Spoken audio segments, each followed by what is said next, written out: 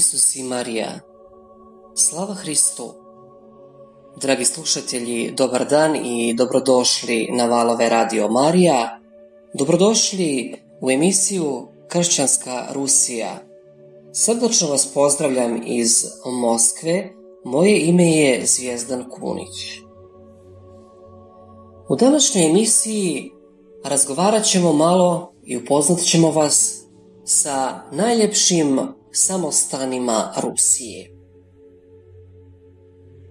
Za početak ćemo reći da u Rusiji ima mnogo različitih samostana, zabačenih i istaknutih, velikih i minijaturnih, slabo osvjetljenih i sjajnih u svojoj pobožnosti.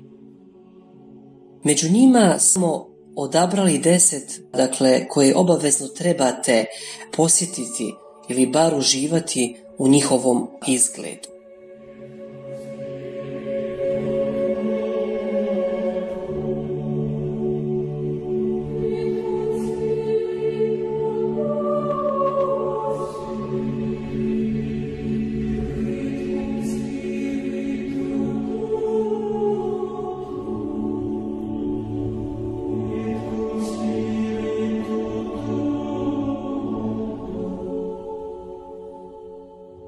Prvi hram koji smo izabrali je hram, odnosno samostan Spaso Jefimijev. Mnogi muški samostani izgledaju kao tvrđave jer su često imali i obrambenu ulogu. Jedan od njih je i Spaso Jefimijev samostan u Suzdalju. Ispred njegovih zidina se vodila velika bitka protiv kazanskog kanata u 15. stoljeću. 300 godina kasnije, po naredbi Katerine II. ovaj samostan je postao i zatvor za opasne anarhiste, revolucionare i sektaše. Taj zatvor je prestao postojati tek tijekom prve ruske revolucije 1905. godine.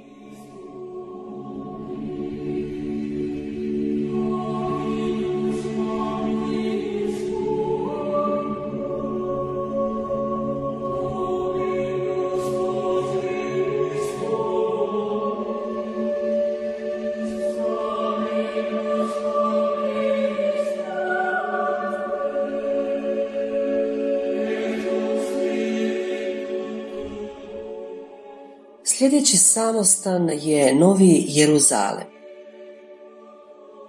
Patrijarh Nikon je u 17. stoljeću u podmoskovskoj Istri odlučio napraviti svoj vlastiti Jeruzalem.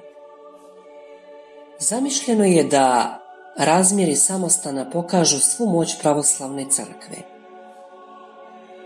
Tako je i bilo. Samostan ima vlastitu baziliku Svetoga groba i vlastitu Golgotu, čak se i rijeka Istra na to mjesto zove Jordan i u njoj se često obavljaju sveta tajna krštenja.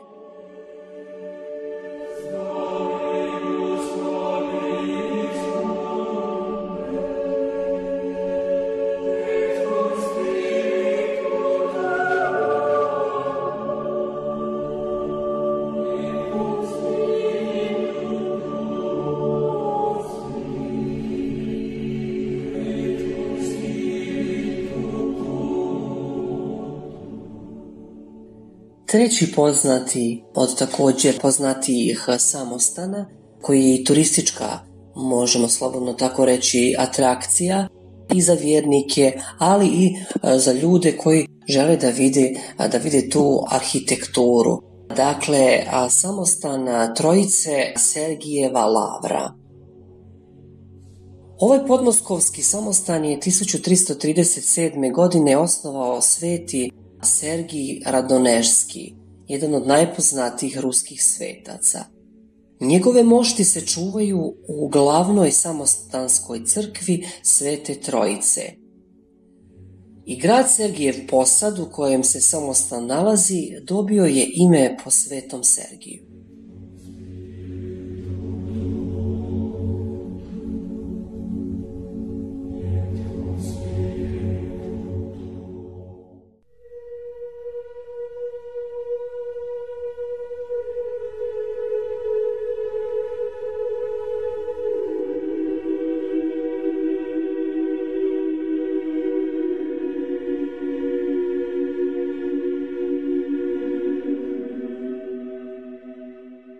Sljedeći samostan o kojem ćemo malo da razgovaramo jeste samostan Aleksandro Nevska Lavra.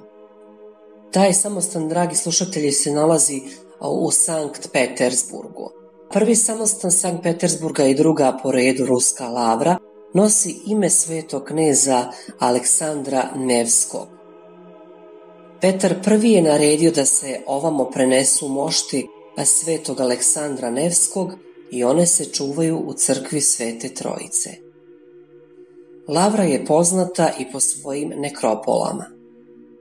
Ovdje su između ostalih pokopani Fjodor Dostojevski, poznati dakle ruski pisci i Mihajl Lomonosov.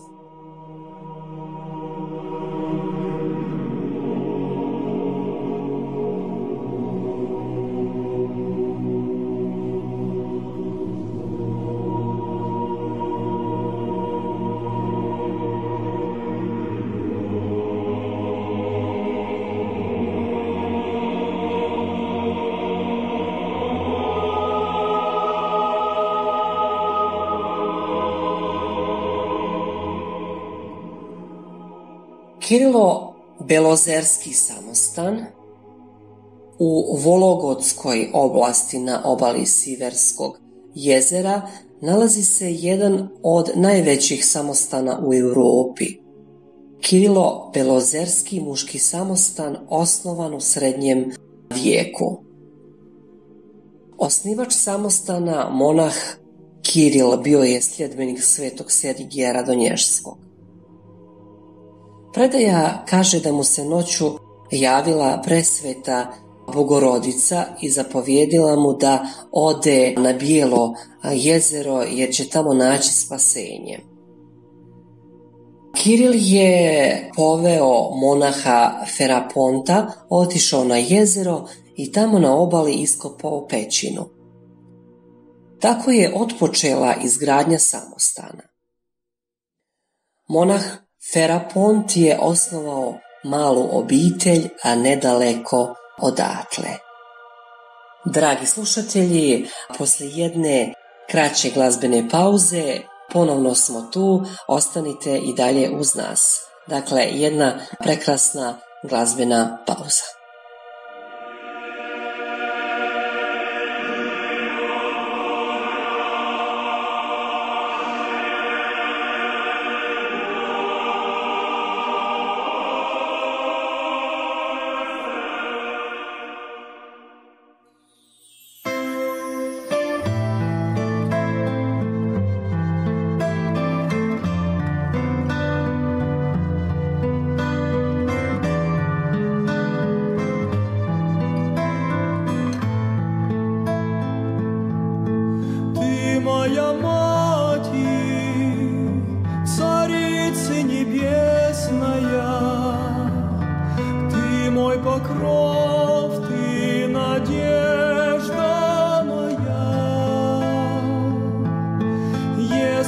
сердце, мне больно и горестно, с надеждой всегда.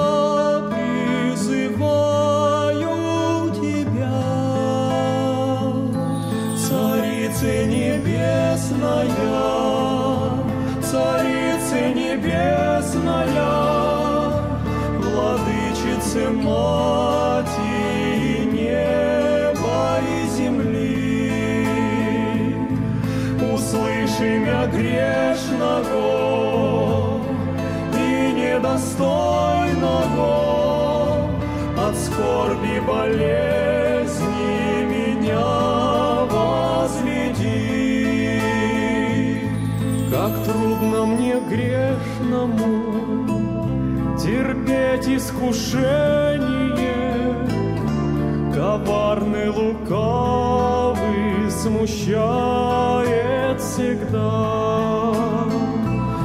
Лишь только с тобой я найду утешение. На помощь опять призываю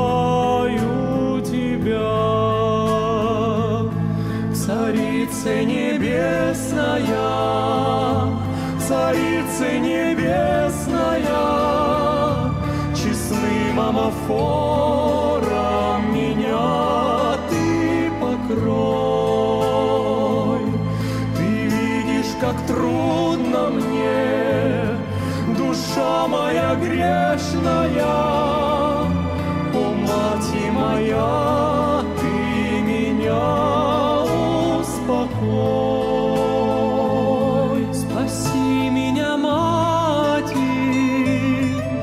вечных мучений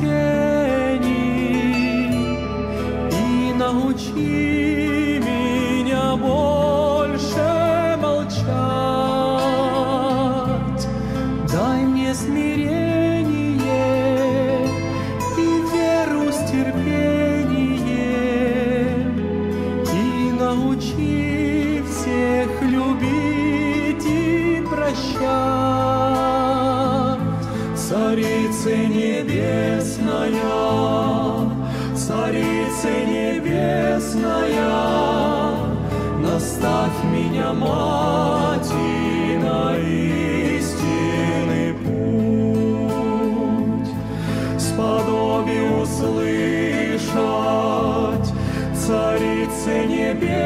Zion.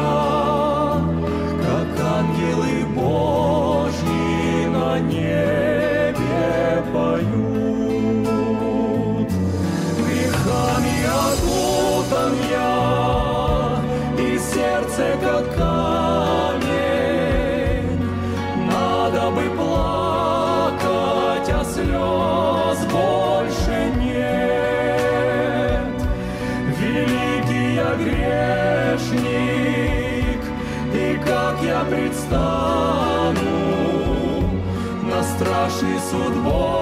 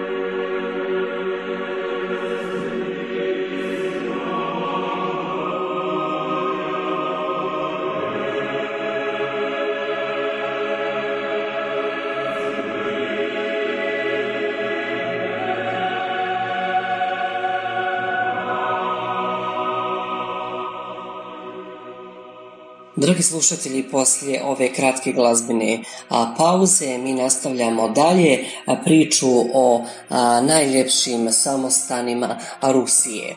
Sljedeći samostan o kojem želim nešto da kažem jeste samostan Ferapontov.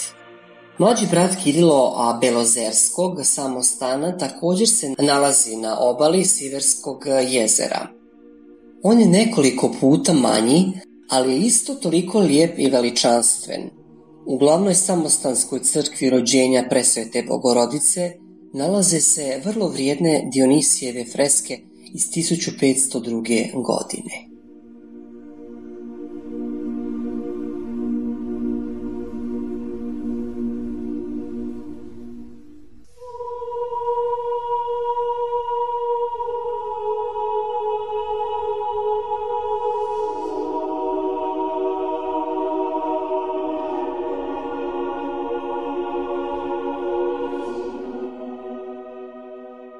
Valamski samostan Valamski e, samostan se nalazi na otoku Ladoškog jezera kod Sankt Petersburga. Postoji dakle mjesto gdje je po predaji apostol Andrej prvozvani postavio kameni križ. Tamo danas stoji samostan koji se prvi put u kronikama spominje u 15. stoljeću. Zbog ratova su redovnici u različitim razdobljima često napuštali obitelj. U naše vrijeme je samostana ponovo dobio bratstvo 1989. godine.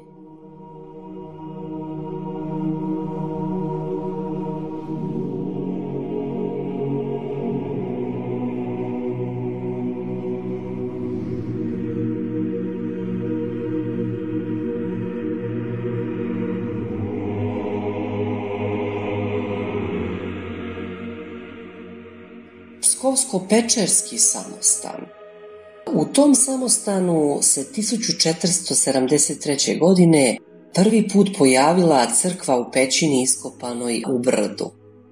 Zatim su u pješčanim špiljama unaokolo počeli živjeti redovnici, zatvornici, a danas se u tim špiljama čuvaju njihove relikvije koje posjećuju poklonici. U 16. stoljeću su oko samostana podignute zidine jer je ovo mjesto blizu granice i često su ga napadali Poljaci i Šveđani. Ovo je jedan od rijetkih samostana koji nije bio zatvoren u sovjetsko doba Rusije.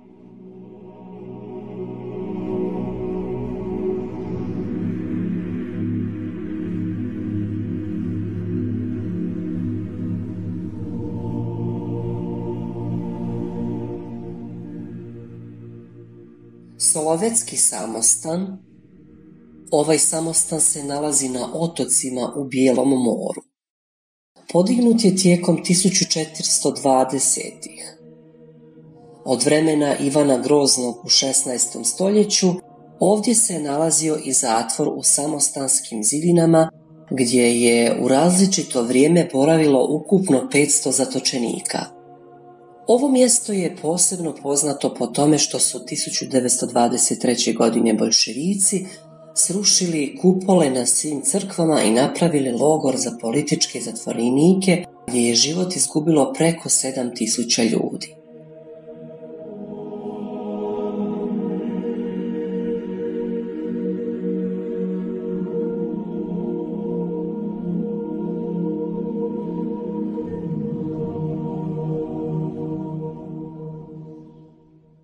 Divejevski samostan. Ovo je, dakle, na našem popisu jedini ženski samostan i ujedno je najmlađi. Podigla ga je u 18. stoljeću bogata udovica kad se zaredila. Nalazi se u Nižegorodskoj oblasti. Vjeruje se da je ovo zemlja čija je pokroviteljica presveta Bogorodica.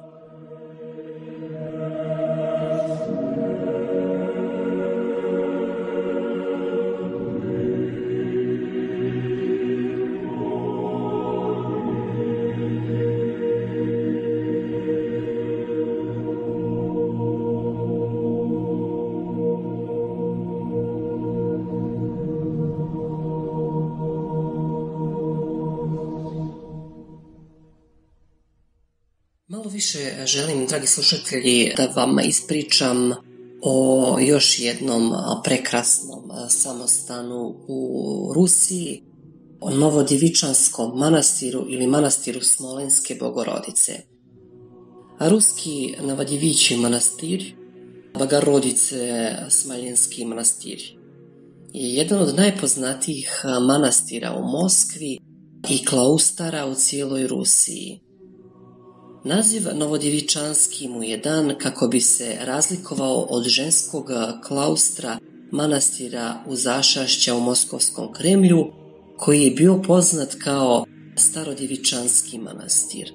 Kako je njegova arhitektura iz 16. i 17. stoljeća ostala gotovo netaknuta 2004. godine upisan je u UNESCO popis mjesta svjetske baštine u Europi. Novodjevičanski manastir osnovao je Vasilije III, veliki knez Moskve 1524. godine u čast osvajanja Smolenska 1514. godine. Izgrađen je kao utvrda na rijeci Moskve i postao je važan dio južnih obrambenih zidina ruske prijestolnice. U njemu su živjele mnoge sestre i supruge ruskih vladara, koje su se prije ili nakon njihove vlasti bile primorane zarediti. Godine 1610. zauzeli su ga Poljaci, a po oslobađanju sljedeće godine u njemu je smještena stalna straža od 100, kasnije 350 strijelaca, strijelci ruske garde. Sredinom 17. stoljeća mnoge opatice iz ukrajinskih i bjeloruskih manastira su preseljene tu. Do kraja 17. stoljeća Novodjevičanski manastir je posjedovao 36 sela u 27 pravnih jedinica ujezda, na ruskom ujezd, uključujući 14.489 kmetova. Godine 1724. u manastiru je osnovana bolnica za ruske vojnike i oficire i žensko sirotište, a 1763. u njemu je živjelo 84 opatica, 35 lajika, 78 pacijenata i sluga. Svake godine država je manastiru dodjeljivala 1500 rubalja, a 1300 kruhova, te 680 rubalja i 480 kruhova za više od 250 siročića. U 19. stoljeću je Djevičansko polje ispred manastira postalo popularno zimsko klizalište. Godine 1871. braća Filatjevi su donirali novac za osnutak škole sirotišta, a opatice su osnovale ubožnicu za starije i nemoćne opatice i lajke. Godine 1922. bolševici su zatvorili manastir i pretvorili ga u muzej emancipacije žena koji je 1926. godine postao muzejom povijesti i umjetnosti. Većina prostorija je pretvorena u stanove što je sačuvalo manastir. Godine 1943. Stalin je u duhu oživljavanja Ruske crkve podržao osnivanje Moskovskog teološkog instituta u Novodjevičanskom manastiru a 1945. katedrala u Zašašća je vraćena vjernicima. Godine 1994. opatice su se vratile u manastir koji je danas pod upravom mitropolije Kruticija i Kolomne. Izlet u Novodjevičanski samostan nedaleko od Moskve obogatit će vas posve drugačijim dojmovima od obilaska Velegrada 21. stoljeća. Tragovi ključnih povijesnih događaja i odmak od svjetovnog načina života čini ovo mjesto jednim od najljepših i najzanimljivijih središta moskovske povijesti i kulture. I sama zgrada samostana fascinantno je lijepa, odraz crveno-bijele barokne čipke vidljivo u jezeru stvara neponovljiv dojam koji nećete lako zaboraviti. Izletite svakodnevno osim utorkom te traje dva sata, dragi slušatelji, ukoliko nekad posjetite ovaj samostan, a Novodjevičanski samostan u Moskvi.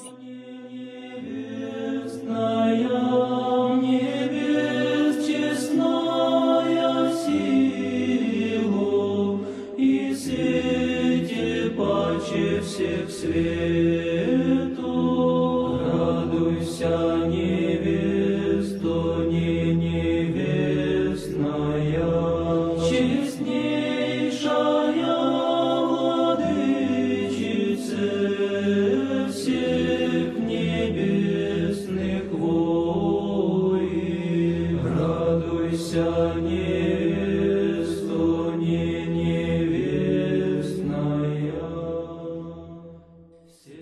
Slušatelji, još bih za kraj malo dodao priče o samostanu Svetog Kirila Belozerskog. Dakle, samostan Svetog Kirila Belojezerskog, to jeste nekad je bio drugi najveći i najznačajniji ruski samostan a danas je dio zaštićenog muzeja, povijesno dakle arhitekturne i umjetničke baštine. Osnivačem samostana smatra se redovni Kiril, kao što sam već i rekao, koji je 1397. godine sagradio dakle, tu zemunicu i postavio drveni križ na mjestu današnjeg samostana. Od 15. do 17. stoljeća samostan je bio duhovni i kulturni centar ruskog sjevera. Unutar njegovih zidova nalazila se jedna od najznačajnijih knjižnica tadašnje Rusije, gdje su se čuvali rijetki rukopisi i mnogobrojni ljetopisi. Od 1924. godine samostan je zajedno s ostatkom kompleksa stekao status zaštićenog muzeja povijesno-arhitektonske i umjetničke baštine. A 1997. godine predsjedničkim ukazom uvršten je u popis iznimno vrijednih objekata kulturnog nasljeđa naroda Ruske federacije.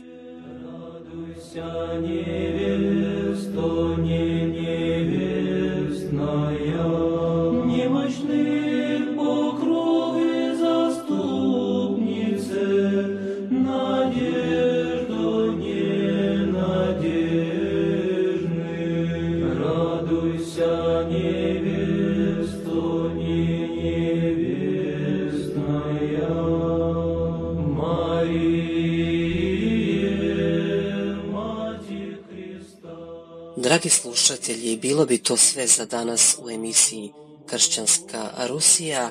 Za kraj malo još glazbe. Ostanite i dalje na valovima Radio Marija. Budite mi s Bogom. Do slušanja.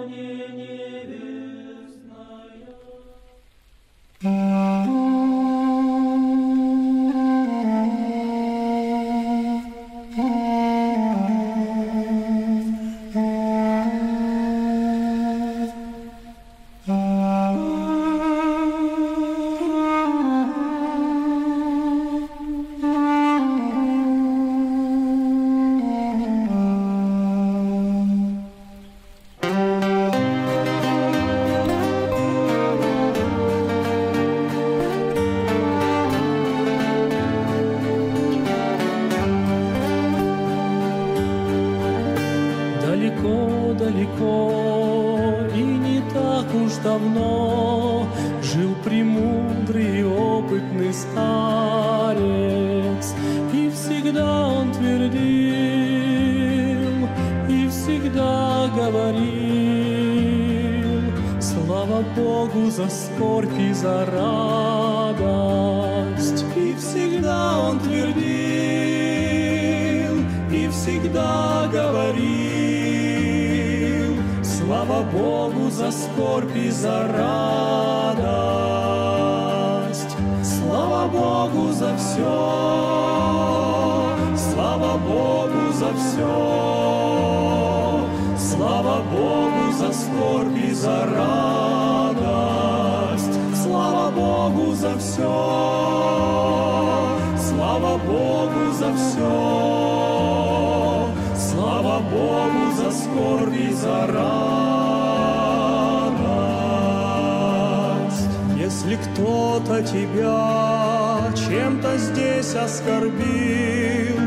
Старайся пред ним оправдаться, и при этом при всем ты смиряйся и знай, что Господь помогает спасаться. Слава Богу за все, слава Богу за все. Господь помогает спасаться. Если ты заболел, за ним мог тяжело и не можешь с постели подняться, значит так суждено, по грехам так дано, и бояться. Слава Богу за все, слава Богу за все, и не надо роптать и бояться.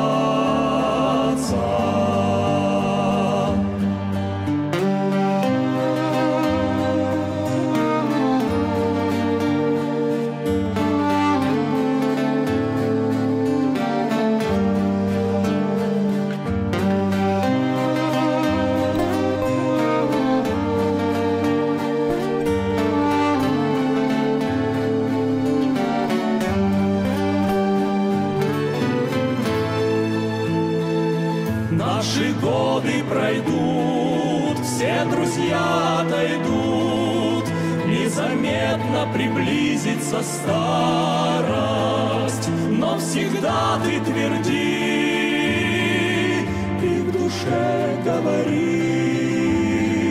Слава Богу за скорбь и за радость, Но всегда ты тверди и в душе говори.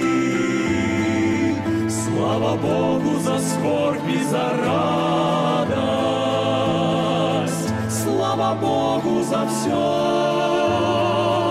Слава Богу за все. Слава Богу за скорбь и за радость. Слава Богу за все. Слава Богу за все.